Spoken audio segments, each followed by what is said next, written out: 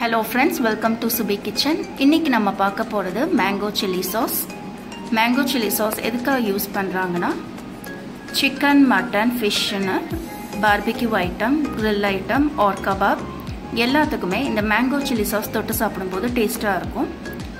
இப்போது mango chilli sauce எப்படி பண்ணுறதுங்கிறத பார்க்கலாம். இதுக்கு தேவையானவை ஒரு மேங்கோ ஜிஞ்சர் ஒரு இன்ச்சு ரெட் சில்லி ஒன்று. உப்பு ஒரு பிஞ்சு.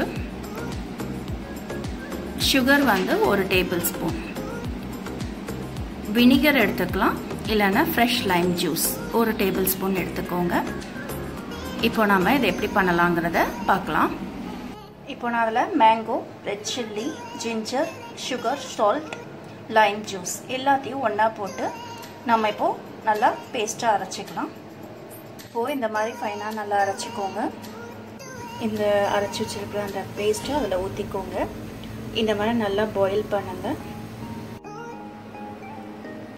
இப்போது மேங்கோ சாஸ் ரெடி ஆகிடுச்சு உங்களுக்கு இந்த வீடியோ பிடிச்சிருந்ததுன்னா என்னோடய சேனலுக்கு சப்ஸ்கிரைப் பண்ணுங்கள் கமெண்ட் பண்ணுங்கள்